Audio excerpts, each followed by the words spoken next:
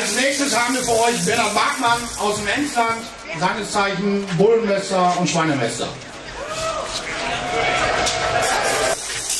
Dann will ich mich mal kurz vorstellen. Mein Name ist Bernhard Barkmann, komme aus dem Emsland. Hallo Emsland! Ein Bus aus dem Emsland hat auch den Weg nach Berlin gefunden. Ganz toll, dass ihr mitgefahren seid. Aber auch ganz toll, dass aus allen Regionen von Deutschland Landwirte, Landwirtinnen, Landfrauen da sind. Ganz klasse.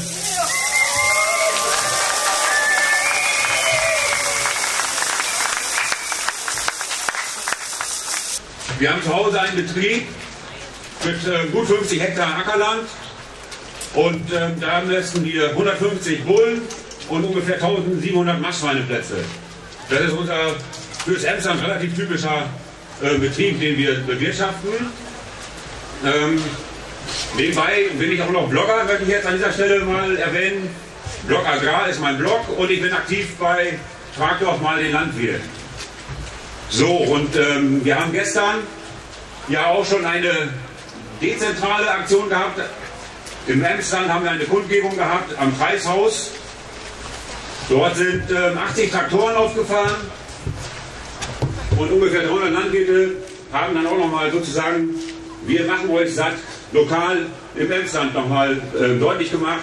Es ist sehr viel in den lokalen äh, Medien berichtet worden, Lokalsender, Radio, Zeitung. Ich glaube, dass hier, wenn das in vielen Regionen so passiert ist, werden wir ähm, deutlich wahrgenommen in der Öffentlichkeit. Und ähm, diese Monopolstellung, die, äh, die wir haben es an Demonstrationen in den vergangenen Jahren immer hatte, mit ihren bunten und wilden Forderungen, äh, die können wir auf jeden Fall erstmal brechen. Dafür danke, dass ihr da seid.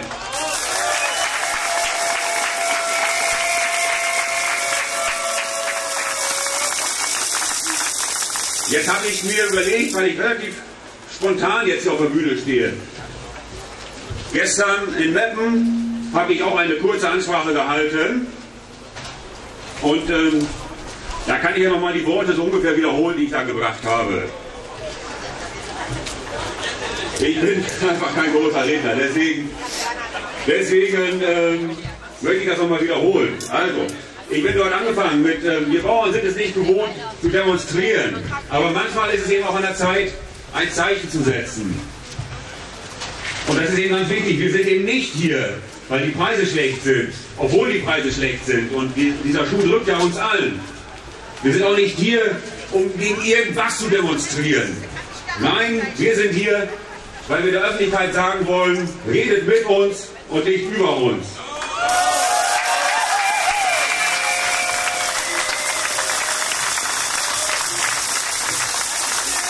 Und warum ist es nötig, diese Forderung zu stellen? Weil wiederholt in Berlin eine von vielen Organisationen getragene Demo mit dem Motto, wir haben es satt, die allermeisten Landwirte brüskiert und zum Teil auch diffamiert. Und was haben diese Organisationen für Gemeinsamkeiten? Alle wollen in irgendeiner Weise eine ideologisch begründete Agrarwende. Fakten und ein Bezug zur Realität sind oft nur störend. Nahezu alle haben kaum praktische Erfahrungen in der landwirtschaftlichen Urproduktion, meinen aber ganz genau zu wissen, wie Landwirtschaft zu funktionieren hat.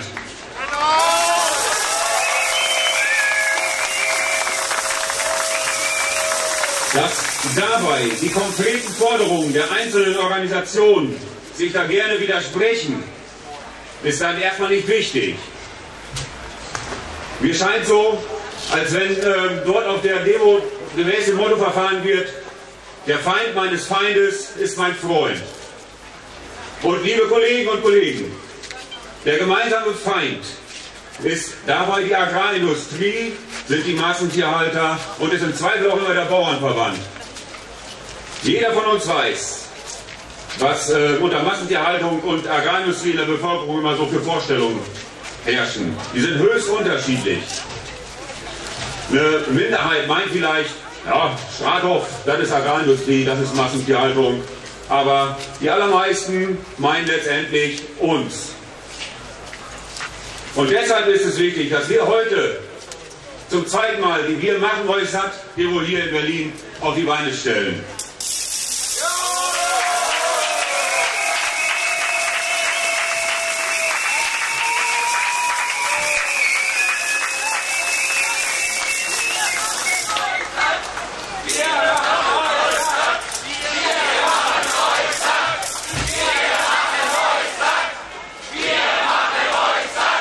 Genau, wir machen euch satt. Das ist ein ganz klares Statement. Ich hoffe, dass ähm, wir eine große Öffentlichkeitswirkung machen, dass mitbekommen wird, dass, ähm, dass letztendlich auch ähm, hier wir die Bauern sind. Wir räumen uns nicht pauschal gegen Veränderungen. Wir fordern, dass Fakten statt Meinungen in der Diskussion ähm, gebraucht werden. Wir brauchen keine gegenseitige Anschuldigungen. Sowas ist nicht zielführend in einer Debatte. Und wir fordern, dass die Skandalisierung der Landwirtschaft endlich ein Ende haben muss.